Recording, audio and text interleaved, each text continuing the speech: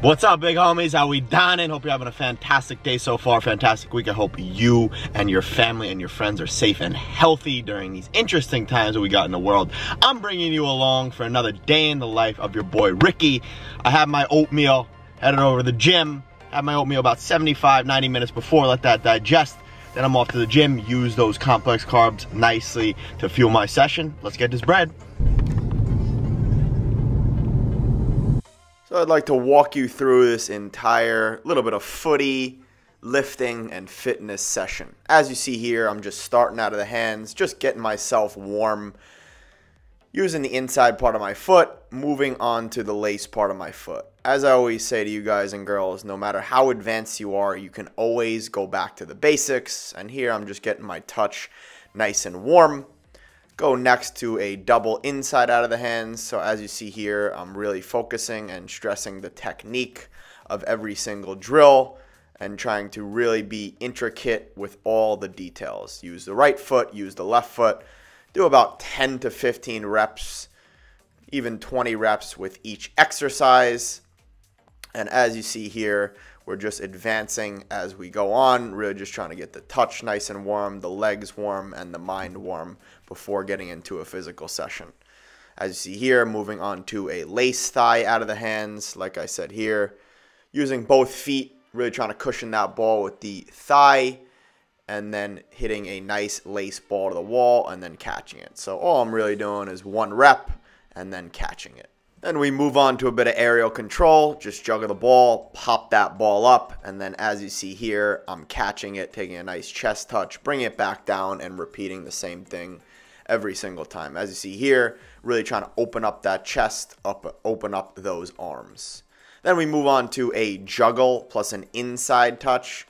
So as you see here, just juggling the ball, popping it small, and then just taking a touch with the inside part of the foot. Normally I pop the ball higher, but I'm really just trying to get a couple touches before I start my physical session. And then we go on to a juggle plus an outside touch. This is an excellent exercise to work on your touch as well as your hip mobility. Because as you see, really turning that foot out really requires a lot of external rotation of the hip. So as I always say, before you do any technical work, you really want to be warmed up no matter how light you consider it to be. And then we're moving on to a juggle plus a head touch. So as you see here, just juggling the ball, popping it up, and then cushioning it back down with my head, and then repeating the same exact thing. Then we got into the physical session, started off with some band sprints, really focusing on acceleration, driving those legs, and driving those arms. Then we moved on to some U curved runs through the door here, through the glass door, as you see. A little bit scared, really not trying to run through the glass, so I slow up a bit, which probably isn't the best. Then we move on to some plyos. As you see, trying to be as quickly off the ground as possible. That's the goal with all plyometrics. You want to be quick off the ground as possible, get out, and really try to be nice and bouncy. Then we moved on to the first strength exercise of the day, which is a dumbbell lunge with a foot elevated on a plate or a platform. And all I'm really trying to do is drive that knee over the front and the second toe, really trying to drive out of my glute and my hamstring of that front leg. Slight touch with that back leg, and then really trying to be explosive up. Then moving on to the second strength exercise where I'm doing a dumbbell Romanian deadlift. Really trying to work on driving that ass back, having a nice, strong, and neutral back, and really pulling and driving up through the heels to feel it in the hamstrings and the glutes. As you see here, as I've been coached by my trainer, I slightly want to hunch that chest over to keep a nice low rib cage. I don't want the rib cage to flare out. So he's taught me not to really have the best posture. It's okay to let the weight pull you down. Really let the weight pull you down below those knees, and then you're pulling back up with those hamstrings. And then I finish off with some dumbbell lateral raises, slight bend in the arm. Don't need to be super strict here like we've always been taught.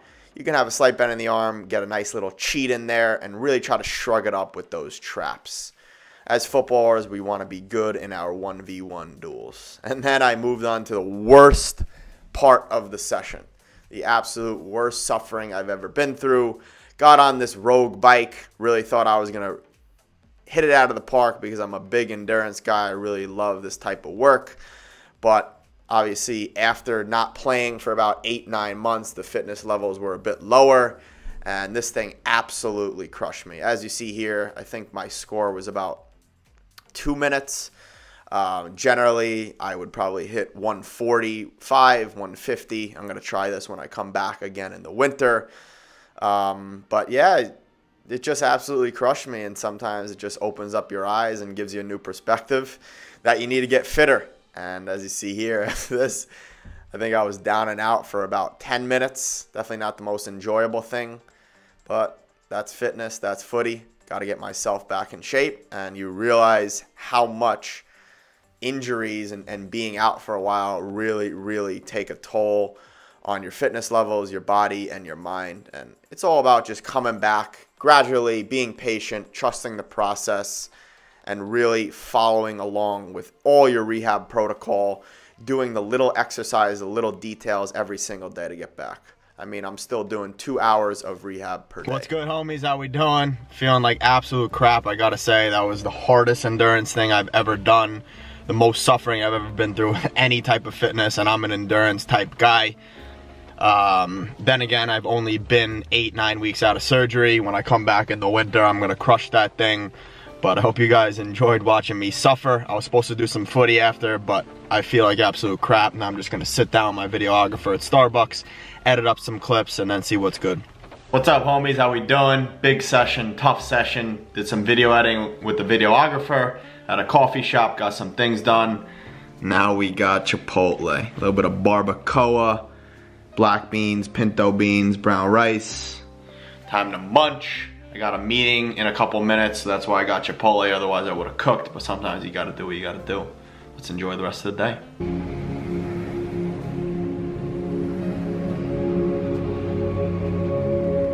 What's up homies? As you saw, just got done with a massage, really essential, flying out tomorrow. Need to get everything fluid, everything nice and ready to go. And that's a wrap. Been five months treatment after treatment after treatment. Now it's time to get this work. I'm gonna head back, grab some nice dinner, do my stretching, do my core work, and then that's, that's gonna be a night. As I said before, my routine is routine. That's what it's all about, routine over discipline. See you in a bit. So I get this question all the time and I wanna cover this for you. How to deal with an injury as a footballer. Obviously, this is one of the most upsetting things as a footballer, having an injury, having to watch your team perform on the pitch while you're out doing your tedious little rehab exercises, you're doing your rest.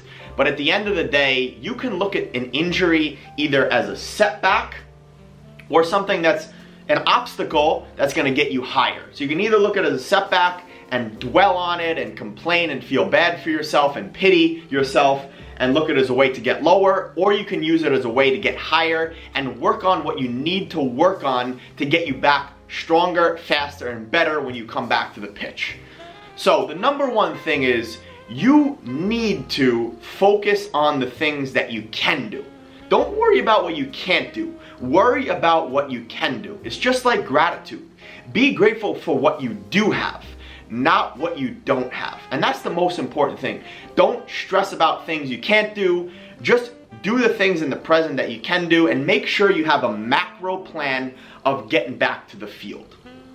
Personally, for me, what happened is I was feeling this pain for a while in my groin. I think many of you know I got sports hernia surgery in January. I came back to the US in November from abroad and I said to myself, I'm gonna nip this thing in the bud right now. I need to come back to Europe fresh in the spring season and the next season, and that's what I've done now. But this was a long process. I hadn't played footy for eight, nine months. Could you imagine where my mind was? But the only reason my mind was in a right place is because I had a plan. I had a plan. I had light at the end of the tunnel. And that's the most important thing. You need to set short and long-term goals to reach. Otherwise, you're never gonna get there. So I had a plan to come back to Europe feeling fresh, feeling good, without pain. And it was, it was such a process. I went back to the US in November as many of you know, I'm a very holistic guy, so I was doing every single thing that I can to try to avoid surgery. So what did I do? I went back home, I saw about seven different doctors, and when I finally landed on the one that I really trusted, I said, I might go through with this. But before I went through with the surgery, I tried two months of just pure physical therapy, laying off the ball work, laying off field work, any type of sprinting that would stress the groin. And I just worked on strength work, rehab, worked with a physical therapist, worked with my guy, my strength coach, worked with a masseuse, and I tried to nip it in the bud, but nothing was helping. So I said, all right, I'm gonna do this surgery. I think it was January 11th, 2021, I did the surgery. And after the surgery, I said to myself, I'm gonna come back feeling fresher and better than ever before without any pain. And that was the end goal, that was the goal. But it took a long time. And like everyone always says, trust the process, take it one step at a time. It's a cliche saying, but cliche sayings are cliche for a reason, because they work. When you trust the process, when you trust what your physical therapist has in store for you, your strength coach has in store for you, your masseuse, whoever you're working with, you are gonna get to your end goal. So what did I do? I took every day one step at a time, and I'm here now, a couple months later, I've already played four games, have no pain, I'm feeling really good. I'm not at 100% match fitness, and I'm not really used to this because generally every pitch that I play on, I'm the fittest guy on the pitch. But you know, I've been struggling a bit. I've been struggling, but I've been trusting the process, not trying to rush myself to get back too quickly. I'm fully back now, but I want to get 100% match fit. 90 minutes match fit, week in, week out, being the fittest guy on the pitch. That's my end goal. And I'm going to get there in three, four weeks when the season starts. But obviously right now and before, it's tough, but you have to embrace the process. You have to trust the process. Take it one step at a time and don't try to get too far ahead of yourself. So without further ado, the most important thing is to really set short-term and long-term goals for yourself. Do what you can do when you're injured and really just take it one step at a time. Do not rush the process. Trust the process. Unbelievable, Pa. What do we got here for dinner? We have a seafood stew, a San Francisco style seafood stew. You could call it bouillabaisse, cioppino. Almost all packed up here, guys. Look at all this. You guys and girls know about these glasses, blue light blocking glasses. I hope you enjoyed today's video. If you did, please hit that like button. Please hit that subscribe button. Please drop a comment. And I will see you in the next video. Deuces.